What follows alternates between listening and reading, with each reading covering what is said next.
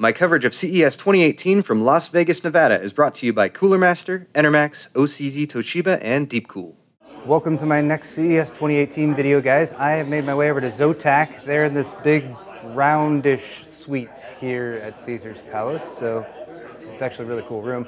I've heard they're going to have a party here tomorrow. Anyway, uh, they have some new mini PCs. They're really good at those. They've got some external enclosures. They have a very mysterious, very mysterious project down there that they've told me very limited things about, but I'll share it with you nonetheless.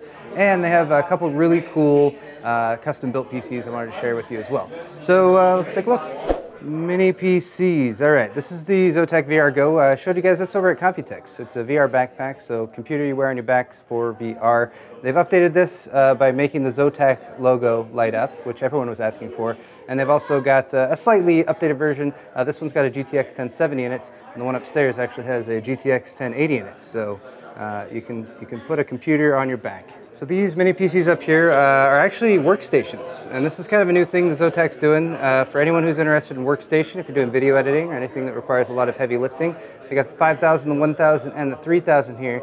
They're working on these designs. They're uh, still in development, but from what Boo told me, they're mostly aiming to make it look kind of like this one right here, which has uh, a nice finish, some ventilation along the sides, of course, ports up front, party in the back. Uh, and they, they're going to feature Quadro, full-size NVIDIA Quadro cards, Quadro P3000, P1000, and P5000, which goes along with the name. Now, of course, we've got the Magnus series. They've been working on this for a while. There's some other variants of that with different components in them and higher end for gaming and that kind of thing. I wanted to show you guys this one really quick. This is the CI660 Nano, uh, which is fairly small, and it's actually an external box design that they are sort of developing, and they wanted to get a little bit of feedback on. So there it is. It's got a white sort of front going around the front of the front right there. It's got a couple USB 3.1 Gen 2 ports, which I thought was pretty cool to have on the front of a system like this. Tons of ventilation all around. Uh, it is a plastic frame, but uh, does seem fairly sturdy. And then you got all your I.O. at the back with another white accent panel. So guys, let us know in the comments down below uh, what you think of this little mini PC design.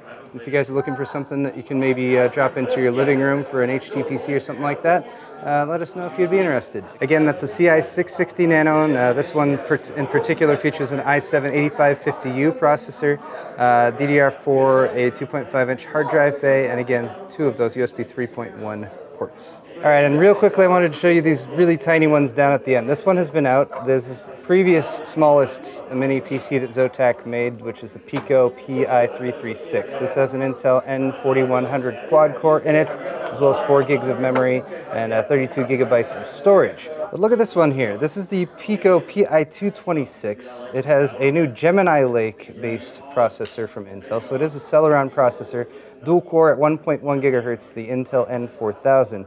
4 gigs of memory, 32 gigabytes of eMMC onboard storage, and a couple USB 3.0 ports, which are uh, right over on that side. So you would use those to connect up external uh, signage, for example, or monitors. Over on this side, it's got a micro, a USB micro port that's used for power, and then I believe there's a micro SD card slot those there so you can add some expanded storage. Now you're probably not going to be able to do much gaming on this or anything like that because it is very small, so you know it's not exactly got crazy graphics prowess. But what they have set up to do back here is uh, for digital signage. So that larger one that they have set up is connecting up a couple of these displays, and then this display on the top right is running just off of one of these little devices. Uh, so if you have a sign in a restaurant, something like that, needs something low power, passively cooled, and very, very small and portable, check out the Pico PI 226. Finally, we have this little VR setup that Zotac has put together uh, just with an Oculus Rift, and they're basically trying to show off the newest version of the Magnus with an Intel 8th gen core processor. This actually has an 8700 in it, which means it's got six cores and 12 threads. It's also got a GTX 1080 Mini in there, uh, with 8 gigs of uh, video memory. It's also got two DDR4 sticks uh, going up to 2666 speed and Optane memory slot as well. So if you want to accelerate a old uh, mechanical hard drive or something like that, that's a great solution to use Optane for. I'm not a huge fan of Optane myself, but it is it is available, so I thought I'd point it out. Uh, there's a quick rundown of the rest of the specs. This is not available yet. They are still finalizing this design, but uh, it does support up to four individual displays, and again, does support VR. So uh, we're looking for a launch of the Magnus with 8th gen Intel Core processor in Q2 of 2018. Over here is the Zotac gaming area, and Zotac's actually working on some some peripherals. Like uh, these are these are little Bluetooth controllers that they're working on. Um, this is, these are just concept products. They're not sure whether or not they're actually going to bring them to market, but um, if there's interest, you can. So a little controller connected up to Bluetooth via an Android to an Android device via Bluetooth, and uh, get your game on. Now, over here on the left is actually a product that launched in December. This is the MEK 1 gaming system. So a full-size desktop chassis, although it is a very slim, it's a very slim and svelte sort of design that they have going on there. It, like it, it, it, kind of pinches in in the middle. Like that's its waist right there. Um, but it does have plenty of ventilation. They've got some slots going on on the side to allow airflow and that kind of thing. And these are actually going to be selling as full systems. Uh, the one on the left over here, which launched in December, has a 7700, so 7th gen Intel Core processor, uh, and a GTX 1070. Now this one over on the right is coming soon, and this one's going to have an 8th gen Intel Coffee Lake processor as well as a GTX 1080. Now they are going to ship with a Windows license, and it's also going to ship with these peripherals. So you're going to get an optical gaming mouse, and you're also going to get this keyboard, which has uh, blue switches. They are generic blue switches. They won't tell me what brand specifically they are, but they are mechanical, and it has a very clicky mechanical feel. Uh, now this is going to work with the Spectra software, so you can use that in order to control the lighting that's going around the accent edges of the MEK 1 gaming chassis itself. And then it's going to ship with, uh, of course, the processor and graphics card we already mentioned, as well as the 240 gig NVMe SSD. Over here we have external docks. So for example, down here is a small Zotac external dock. This one's got a 180 watt power supply in it, so it's uh, going to support uh, graphics cards in the range of like a GTX 1060 um, but it is connected via Thunderbolt 3, so you just need a laptop or a small PC. They've got one of their nano PCs right here. Normally this PC would not be capable of gaming, but hook it up to an external graphics card via Lightning, or I'm sorry, via Thunderbolt 3, and there you go. Suddenly you have a gaming system. Here's another one. This one's just called External Thunderbolt 3 box because it's still in development, but uh, this one's basically made to support full size up to 12 inch graphics cards. It also includes a 550 watt power supply, so that's enough juice not only to power the graphics card itself, but if you have a Thunderbolt 3 connection to your laptop, for example, you can actually, when you connect your laptop to this uh, external GPU dock, charge your laptop at the same time.